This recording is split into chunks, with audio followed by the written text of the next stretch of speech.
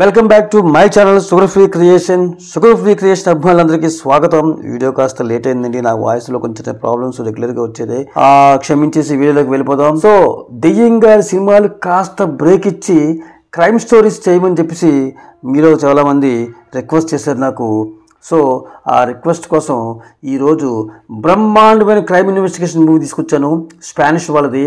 వీళ్ళు స్పానిష్ వాళ్ళ సినిమాల్లో చాలా యూనివర్సల్ ఐడియాస్ ఉంటాయన్నమాట. మతి పోగొట్టే suspense thriller cinema. Thesis on a homicide two thousand థర్టీన్లో release అయింది. ఒక డిటెక్టివ్ టీచర్కి ఆ స్టూడెంట్కి మధ్య విభేదాలు క్లాష్ వస్తాయి. ఆ లా కాలేజీలో ఒక అమ్మాయి మర్డర్ జరుగుతుంది. ఆ మర్డర్ని శిష్యుడు చేశాడని గురువు అనుమానంతో అన్వేషణ మొదలు పెడతాడు ఆధారాలన్నీ సేకరిస్తాడు. అదిరిపోయే ట్విస్టులు ఈ సినిమాలో ఉంటే చివరి వరకు కనుక మీరు చూస్తే కనుక ఆ ట్విస్టులు మీకు అద్భుతమైన థ్రిల్ని కలిగిస్తాయి. ఇక సినిమా కథలోకి వెళ్ళిపోయే ముందు routine routine routine request fans please do subscribe. నా వీడియోస్ని సబ్స్క్రైబ్ చేయకుండా చూస్తున్నారని చెప్పేసి ఆ గూగుల్ అమ్మ చెప్తుంది. Please do subscribe.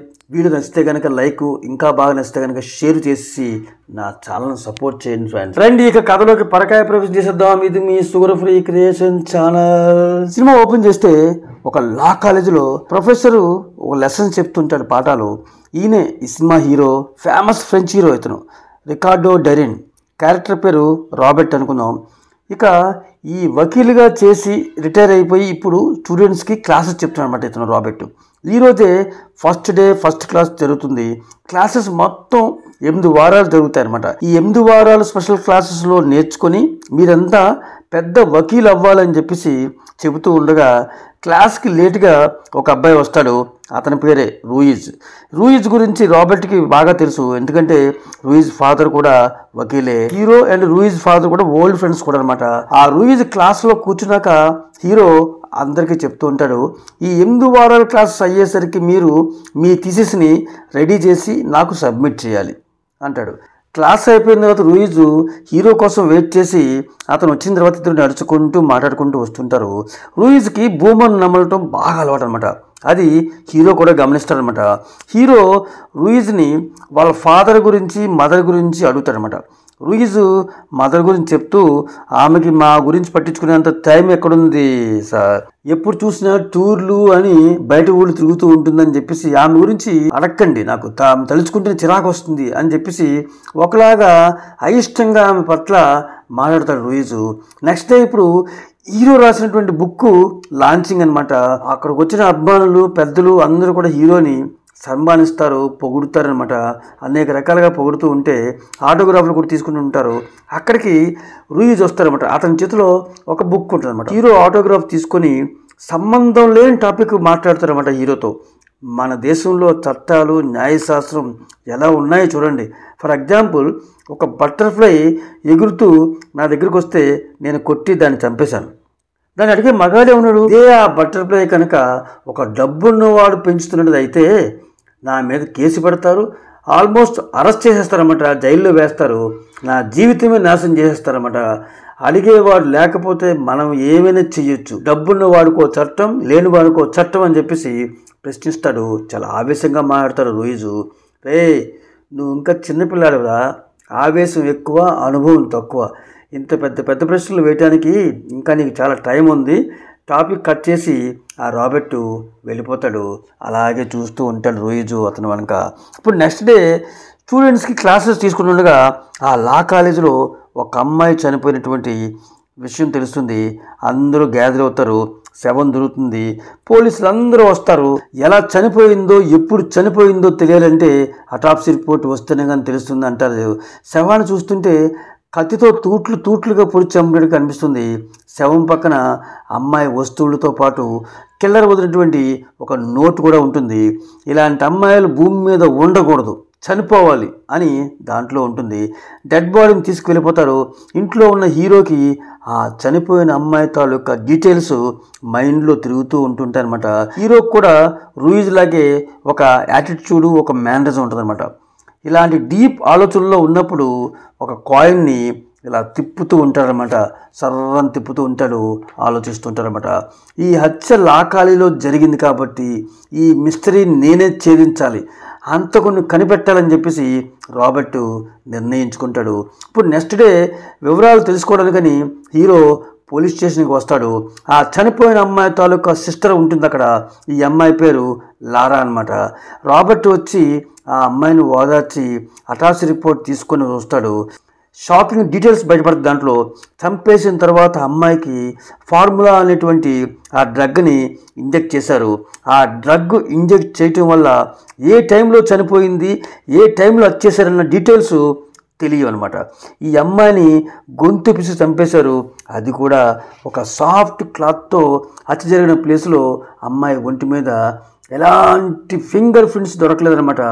గ్లౌజెస్ వేసుకుని మర్డర్ చేశాడు. ఒక బటర్ఫ్లై దారాలు గుర్తుగల చైను ఆమె మెడలో ఉండటం ఆ రాబర్ట్ చూస్తాడు. ఆ చైన్తో లాగి చంపుంటే కనుక ఆ లాకెట్ గుర్తులు ఆ పీక మీద మెడ మీద ఉంటాయి. అమ్మాయి శవాన్ని నేరుగా వెళ్ళి డాక్టర్తో చూస్తాడు రాబర్టు. ఆ లాకెట్ గుర్తులు పీక మీద లేవు అంటే చంపేసిన తర్వాత ఆ చైన్ని మెడలో ఆ కిల్లర్ వేసుంటాడనమాట అని నిర్ధారించుకుంటాడు రాబర్టు. అక్కడ సేకరించిన విట్నెస్ వస్తువులు ప్యాక్ చేస్తూ ఉంటాయి. అందులోని ఆ బటర్ఫ్లై చైన్ని డాక్టర్ చూడకుండా రాబర్టు నొక్కేస్తాడు. అంటే దొంగతనంగా తన పాకెట్లో వేసుకుంటాడు. ఎందుకంటే ఈ కేసుని పర్సనల్గా ఇన్వెస్టిగేట్ చేద్దామనుకున్నాడు కదా. సో ఇప్పుడు ఇక్కడి నుంచి రాబర్ట్ బయటకు వచ్చి హత్య జరిగిన ప్లేస్కి వస్తాడు. హత్య ఇలాగే జరుగుంటుంది అని అతని ఇమాజినేషన్లో విజువల్స్ వస్తూ ఉంటాయి. అద్భుతంగా చూపిస్తారన్నమాట సినిమాలో. చనిపోయిన అమ్మాయి ఒక దగ్గర కూర్చొని ఉండగా దూరంగా కిల్లరు ఆమెను చంపాలని మోటివ్తో అతని చేతులకి గ్లౌజులు వేసుకుంటాడు. ఎవరూ లేని టైం చూసి ఏ టైమో ఖచ్చితంగా తెలియదు కాబట్టి ఆ సాఫ్ట్ అయిన క్లాత్తో అమ్మాయి గొంతు నిలిమి చంపేసి చనిపోయిన టైం తెలియకూడదని చెప్పేసి ఫార్ములా అనే డ్రగ్ని బాడీలోకి ఇంజెక్ట్ చేస్తాడు. దాని తర్వాత కనిపించిన చోటల్లా కత్తితో కాట్లు పెడతాడు బాడీని వదిలేసి వెళ్ళిపోతాడు. ఇది రాబర్ట్ ఊహించుకున్న కథనం. ఇప్పుడు ఆ బటర్ఫ్లై లాకెట్ చూశాక ఒక ఐడియా తడుతుంది అతనికి. ఆ బటర్ఫ్లై గురించి ఒక పిట్టగా చెప్పినటువంటి రూయిజ్ మీద అనుమానం పుడుతుంది మొట్టమొదటిసారిగా. నెక్స్ట్ డే చనిపోయిన అమ్మాయి సిస్టర్ లారాని కలుస్తాడు రాబర్టు. తన అక్క గురించి డీటెయిల్స్ చెప్పమని అడుగుతాడు. మా అక్క మీ లా కాలేజ్ పక్కనే ఉన్నటువంటి కాఫీ షాప్లో పనిచేసేది. డ్యాన్సింగ్ క్లాస్కి వెళుతూ ఉంటుంది. కానీ ఆ ఫ్రెండ్స్ బాయ్ ఫ్రెండ్స్ అనే వాళ్ళు ఎవ్వరూ లేరు. అలాంటిది మా అక్కని అన్యాయంగా ఎవడో చంపేశాడని కన్నీళ్ళు పెట్టుకుంటూ ఉంటుంది లారాని. ఓదారుస్తాడు రాబర్టు. ఈ అక్కా చెల్లెలు కలిసి ఉన్న ఫోటోని తీసుకొని నేను తొందరలోనే ఆ అంతకన్ను పట్టుకొని నీ కళ్ళ ముందు పెడతాను అని చెప్పేసి వెళ్తాడు. నెక్స్ట్ డే రూయిజ్ని ఫాలో అవుతాడనమాట వాడొక ఒక డ్రాయింగ్ ఎగ్జిబిషన్కి వెళ్ళాడు. రూయిజ్ తెలియకుండా రాబర్టు రూయిజ్ని ఫాలో అవుతాడు. ఒక దగ్గర మిస్ అయిన రూయిజు ఎదురుపడి రాబర్ట్ వెనకాలే ఉంటాడు. హాయ్ సార్ అంటూ పలకరిస్తాడు. మనకి థ్రిల్లింగ్ అనిపిస్తుంది. ఎందుకంటే రూయిజ్ని ఫాలో అవుతూ వెళ్ళిన రాబర్ట్కి రాబర్ట్నే ఫాలో అవుతూ వచ్చిన రూయిజ్లా కనిపిస్తారు మనకి దీంట్లో. రండి సార్ మీకు నాకు నచ్చిన పికాసో పెయింటింగ్ చూపిస్తానని చెప్పేసి రూయిజ్ తీసుకెళ్ళి చూపిస్తాడు. దాని అర్థాలని డీటెయిల్గా వివరిస్తూ ఉంటాడు మన రూయిజ్ అనమాట అది క్లారిటీగా నేనే ఆ అమ్మాయిని చంపాను. మీరెవ్వరూ నన్ను పట్టుకొని ప్రూవ్ చేయలేరు అన్న మీనింగ్లో ఒక వార్నింగ్ లాగా లెక్చర్ ఇస్తాడు రూయిజు. బెత్తరపోతాడు రాబర్టు. నెక్స్ట్ రాబర్టు ఒక లేడీ డాక్టర్ని కలుస్తాడనమాట. ఆమె రాబర్ట్కి రూయిజ్కి వాళ్ళ ఫాదర్కి కామన్ ఫ్రెండ్ అనమాట. ఫ్యామిలీ డాక్టర్ కూడా. రూయిజ్ మీద నాకు అనుమానంగా ఉంది అని రాబర్ట్ చెప్పగానే ఆమె అతని మాటలు నమ్మదు. నమ్మకపోవడానికి ఆమెకు ఫ్లాష్ బ్యాక్ కూడా ఉందండి. గతంలో మన రాబర్ట్ పీక్ వకీల్గా ఉన్నప్పుడు ఇలాగే ఒకరి మీద అనుమానపడి కేసు నడిచినప్పుడు అది అతని రాంగ్ జడ్జిమెంట్ అని తేలింది. అందుకే అలాగే ఇప్పుడు రాబర్ట్ చెప్పినటువంటి ఈ రూయిజ్ మీద అనుమానాన్ని కొట్టి పడేసింది ఆవిడ. అయినా కానీ రాబర్ట్కి ఈసారి గట్టి నమ్మకం రూయిజే మర్డర్ అని నిరూపించడానికి ఆధారాలు లేవని అవి కలెక్ట్ చేసి మీ దగ్గర మాట్లాడతాను అని చెప్పేసి డాక్టర్ దగ్గర నుంచి రాబర్ట్ వచ్చేస్తాడు. అక్కడి నుంచి చనిపోయిన అమ్మాయి పనిచేసే కాఫీ షాప్కి వస్తాడు రాబర్ట్. అక్కడ లారా అక్క ప్లేస్లో జాబ్ చేస్తూ కనిపిస్తుంది. ఆమెకు మళ్ళా ఇంకోసారి ధైర్యం చెప్తాడు. నెక్స్ట్ ఓపెన్ చేస్తే రాబర్ట్ ఇంట్లో పనిచేసే పని మనిషి రూయిజ్ ఇంట్లో కూడా పనిచేస్తూ ఉంటుంది. సో ఇద్దరు ఇళ్ళ తాళాలు కూడా స్పేర్లు ఆవిడ దగ్గర ఉంటాయన్నమాట. మన రాబర్టు ఆవిడ పాకెట్లోంచి రూయిజ్ ఇంటి తాళాలు తీసుకొని అంటే దొంగలించి ఆమె త్వరగా రాకుండా ఆమెకి ఎక్స్ట్రా వర్క్ చెప్పి రూయిజ్ ఇంటికి వచ్చి క్లూ కోసం వెతుకుతుంటారన్నమాట రాబర్ట్. అందులో రూయిజ్ పాస్పోర్ట్ దొరుకుతుంది. కొన్ని సంవత్సరాలు పోర్చుగల్లో ఉన్నట్టు అందులో చూపిస్తుంటుంది అనమాట పక్కనే ఒక బుక్ ఉంటుంది అది రాబర్ట్ రాసిన పుస్తకమే. అందులో ఈ ఫ్యామిలీస్ ఫొటోస్తో పాటు ఒక అరవై ఏడు డాలర్ల గల సూపర్ మార్కెట్ బిల్లు కనిపిస్తుంది. ఈ అరవై ఏడు డాలర్కి ఏ వస్తువులు కొన్నాడో తెలియడం లేదు. దీన్ని కనిపెట్టాలి అని అదే సూపర్ మార్కెట్కి వెళ్ళి కిల్లర్ ఏ వస్తువులైతే వాడాడో అవి కొంటాడు. అంటే గ్లౌజులు ఫార్ములా డ్రగ్ ఇంజెక్షన్స్ తీసుకున్నా సరే అరవై ఏడు డాలర్ బిల్ రావట్లేదు. అరవై నాలుగున్నర మాత్రం వస్తుంది. ఆలోచించగా రూయిజ్కి బబుల్ గమ్ వాడేటువంటి అలవాటు ఉంది కాబట్టి రూయిజ్ వాడే ఆ బూమర్ తీసుకొని బిల్ వేయమంటాడు. యాడ్ చేసి చూస్తే కరెక్ట్గా అరవై ఏడు డాలర్స్ వచ్చింది. రాబర్ట్ యొక్క లెక్క అంచనా కరెక్ట్గా ఉందని రూయిజ్ అంతకుడని కన్ఫర్మ్ చేసుకుంటాడు. రూయిజ్ని ఒక బారుకు రమ్మని పిలిచి రాబర్ట్ తన అలవాటు ప్రకారంగా కాయిన్ని అలా తిప్పుతూ ఉంటాడు. రుయిజ్ వస్తాడు. చాలా తెలివిగా గురు శిష్యులిద్దరూ ఒకరికి మించి ఒకరు మాట్లాడుకుంటారు. థీసిస్ గురించి టాపిక్ వస్తుంది. పోర్చుగల్లో జరిగిన మర్డర్ కేసు గురించి రాద్దామనుకున్నాను కానీ మన కాలేజీలో నా కళ్ళ ముందు ఒక అమ్మాయి హత్య జరిగింది కదా దాన్నే థీసిస్గా రాయాలని నిర్ణయించుకున్నాను అని రుయిజ్ చెప్తాడు. రే ఆ కేసు ఇంకా క్లోజ్ అవ్వలేదు. దాని థీసిస్లో రాయకూడదు అని రాబర్ట్ శిష్యుడికి చెప్తాడు నో నో నో ఆ కేసునే తీసేసిగా రాసి తీర్తాను అని బల్లగుద్ది మరీ చెప్పి వెళ్తాడు రూయిజు. ఇప్పుడు రాబర్ట్ రూయిజ్ ఫొటోస్ ఆల్బమ్స్ని ఓ ప్రొజెక్టర్లో పెట్టుకొని చూస్తూ ఉంటాడు. బర్త్డే ఫోటోల్లో రూయిజ్ తల్లి ఇప్పుడు మర్డర్ అయిన అమ్మాయిలాగే ఉంది. అంటే మర్డర్ జరిగిన ప్లేస్లో ఒక లెటర్ రాసి పెట్టి వెళ్ళాడు కదా? ఇలాంటి అమ్మాయిలు బతికి ఉండకూడదు. అని చెప్పేసి మా అమ్మ అంటే నాకు నచ్చదు అని చెప్పిన రూయిజ్ మాటలు రాబర్ట్ గుర్తించుకుంటారనమాట రెండు సింక్ అవుతూ ఉంటాయన్నమాట. ఎందుకంటే వాళ్ళ అమ్మ రూపం కూడా సేమ్ ఈ చనిపోయిన అమ్మాయిలాగే ఉంటుంది. ఆ బాబ్డ్ హెయిర్తో అలా కటింగ్తో మగవాళ్ళలాగా ఉండేటువంటి రూపం అనమాట సో ఆ అమ్మ చెప్పినటువంటి అమ్మ అంటే ఇష్టం లేని చెప్పిన మాటలు ఇవి అన్నీ కూడా కరెక్ట్ అవుతూ ఉంటాయన్నమాట అతనికి. సో తన తల్లి అంటే ఇష్టం లేదు కాబట్టి అలాంటి రూపంతో ఉన్నటువంటి అమ్మాయిల్ని రూయిద్దు చంపుతున్నాడని ఊహాగణాలని రాబర్ట్ మొదలు మెదులుతూ ఉంటాయి. కన్ఫర్మ్ అవుతూ ఉంటాయన్నమాట. వెంటనే ఆ పోర్చుగల్లో చనిపోయిన అమ్మాయి ఫోటో కోసం ఆ గూగుల్లో సెర్చ్ చేస్తే దానికి సరిగ్గా రూయిజ్ తల్లి రూపంలో ఉందన్నమాట ఆ అమ్మాయి ఫోటో కూడా.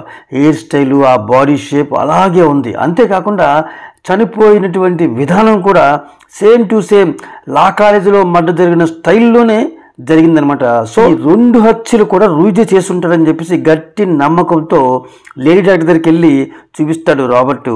చెప్తాడు కూడా. ఆమె ఇంకా రాబర్ట్ని నమ్మలేదనమాట. ఈ డీటెయిల్స్ని ముందు పరిశీలించి చెప్పు నా మీద నమ్మకం కాదు అని చెప్పేసి గట్టిగా అంటాడు రాబర్ట్ కూడా. రూయిజ్ మర్డర్ చేశాడంటే నేను నమ్మను. కానీ ఈ రెండు హత్యలు ఒకేలా జరిగాయి ఒకటే అంతకుడు అయి ఉంటాడు అంటే ఈ కిల్లర్ ఖచ్చితంగా సైకోనే. సైకో అయినప్పుడు ఈ రెండుతో ఆపడు కదా. కంటిన్యూ చేస్తారు కదా. ఇలాంటి అలాంటి రక్తదాహం ఉంటుంది వారికి మానసికంగా తృప్తి కోసం అలా చేస్తూనే ఉంటారు అని చెప్పేసి ఆ డాక్టర్ చెప్తుందనమాట అప్పుడు రాబర్ట్ అంటారనమాట సో నెక్స్ట్ మనమే ఒక అమ్మాయిని సెట్ చేసి ట్రాప్ చేసి ఆ సైకోని పట్టుకుందాం అని చెప్పేసి ప్లాన్ వేస్తాడు. సైకోకి ఎరగా చూపించి పట్టుకోవాలనుకున్నటువంటి అమ్మాయి లారా. అంటే చనిపోయిన అమ్మాయి తాలూకా సిస్టర్. లారాని ఇంటికి పిలిచి మీ అక్క జ్ఞాపకార్థం ఈ చైన్ని నీ మెల్లో వేసుకో అని చెప్పేసి ఇస్తాడనమాట.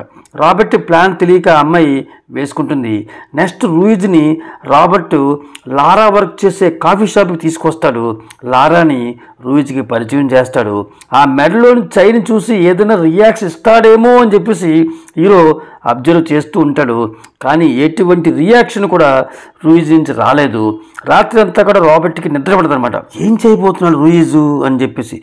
సో నెక్స్ట్ మార్నింగ్ లేచి లారా ఎలా ఉందో చూద్దాం అనుకుని వెళితే బిత్తరపోతాడు అక్కడ చూసి. ఎందుకంటే పరిచయమైనటువంటి కొద్దిసేపటికే కొద్ది ఒక రోజుకే లారా రూయిజులు చాలా చనువుగా నవ్వుతూ మాట్లాడుకుంటూ ఒక దగ్గర ఆ కాఫీ షాప్లో కనిపిస్తారు. ఒక్కరోజు పరిచయంకే ఇంత ఫాస్ట్గా కలిసిపోయి కెమిస్ట్రీ వర్కౌట్ అవుతుందా?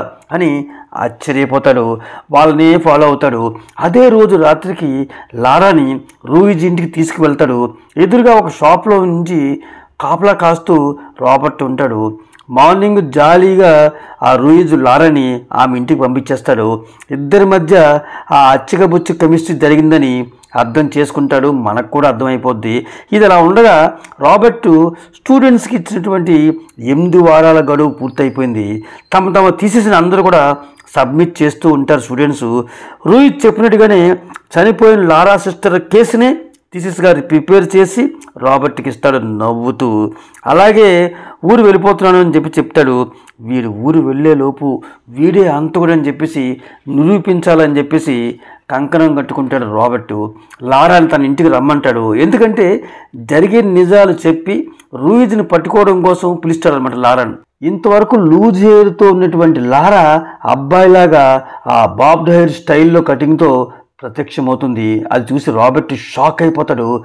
నిన్ను వాళ్ళే కదా ఇలా హెయిర్ కట్ చేసుకోమన్నది? అని ఫాలో అని చెప్పినటువంటి విషయాలన్నీ కూడా చెప్పి నిలదీస్తాడు లారాను. అది విని లారా రాబర్ట్ని చాలా చీప్గా ఇలాంటి పనులు చేస్తారనుకున్నది మీరు మీ మీద ఒక గౌరవంతో ఉన్నాను అని చెప్పేసి చెప్తుంది. రాబర్ట్ రూయిజ్ గురించి ఆ నిజాలని చెప్తాడు. తన అనుమానిస్తున్న సాక్ష్యాలతో వివరిస్తాడు. లారా మాత్రం నమ్మదు కొట్టి పరేస్తుంది. మీ అక్కని చంపడానికి కారణం తన తల్లిలాగా ఉందని అలాగే తీసి రాయటానికి ప్రాక్టీస్గా మాత్రమే చంపాడు. వాడిని పట్టుకోవడం కోసమే మీ అక్క మెడలో ఉన్న చైన్ని నీ మెడలో వేసి నిన్ను ఎరగా పెట్టి పట్టుకుందామని ప్లాన్ చేస్తున్నాను అని చెప్పేసి అంటాడు రాబర్టు.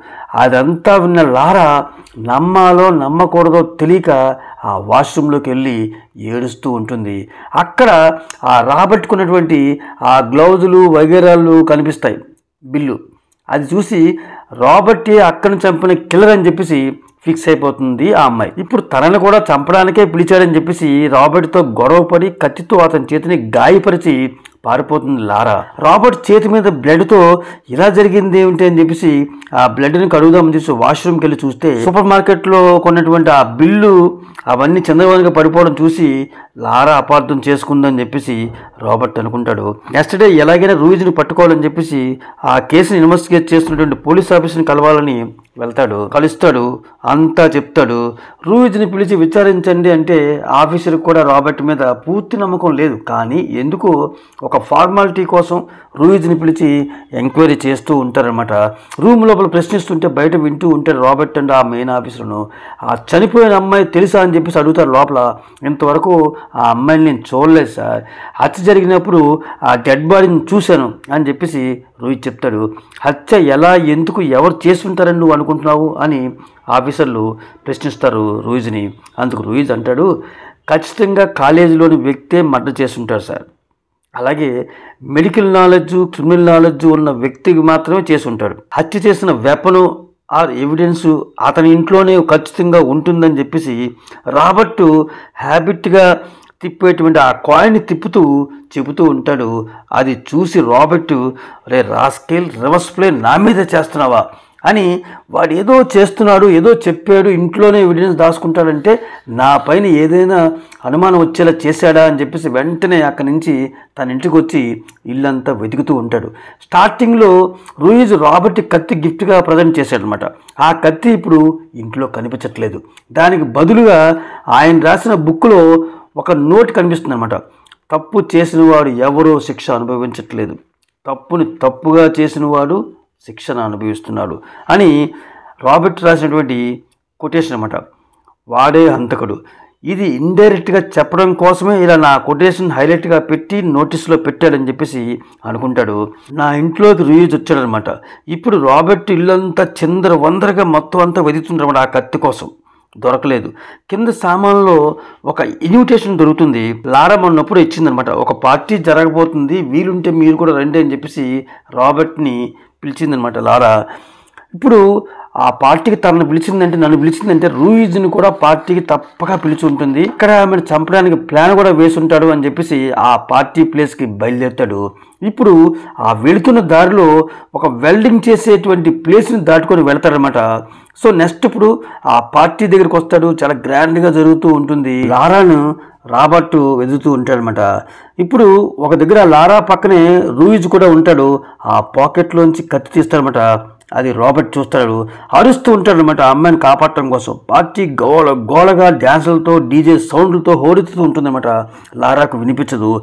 రూయిజ్ కత్తి తీసుకొని లారాకు సమీపిస్తుంటాడు దగ్గరికే వెళుతుంటాడు. మొత్తానికి హీరోలాగా వెళ్ళి రాబర్ట్ వచ్చి రూయిజ్ని పట్టుకుంటాడు కొడతాడు. లారా మాయమైపోతుందన్నమాట సడన్గా. అరే రూయిజ్ నాకు అన్నీ తెలిసిరా. లారా యొక్క సిస్టర్ని చంపి ఇప్పుడు లారాని కూడా చంపుతాం అనుకున్నా కదూ? అని ముక్కు మీద పిలుగుద్దులు గుద్దుతాడు. బౌన్సర్స్ వచ్చి రాబర్ట్ని పట్టుకుంటారు చంపకుండా ఆపుతారు. పోలీసు అరెస్ట్ చేస్తారు రోబర్ట్ని. ఇప్పుడు రూయిజ్ని హాస్పిటల్లో తీసుకెళ్తారు. పోలీస్ స్టేషన్లో లారా క్షేమంగానే ఉంది. ఇన్వెస్టిగేషన్ ఆఫీసర్ జైల్లో ఉన్నటువంటి హీరోని రాబర్ట్ని కలుస్తారన్నమాట. అసలు సినిమాలో ఉన్నటువంటి ట్విస్ట్లన్నీ కూడా ఇక్కడే ఇప్పుడే ఓపెన్ అవుతుంటాయి. హీరోకి ఉన్నటువంటి డౌట్స్ జవాబులు అనమాట ఫస్ట్ ఏంటంటే పోర్చుగల్లో రూయిజు ఒక అమ్మాయిని హత్య చేశాడు అని నమ్మేవాడు కదా? అది నిజం కాదు. రూయిజ్ హత్య చేయలేదు.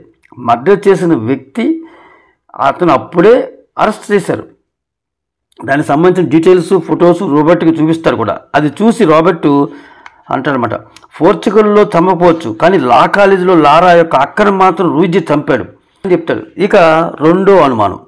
అరవై ఏడు డాలర్ల బిల్లు రూయిజ్ పలానా హత్యకు ఉపయోగపడే వస్తువులు తీసుకుని ఉంటాడు అని చెప్పేసి రాబర్ట్ కొన్నాడో అవి నిజానికి రూయిజ్ కొనలేదు.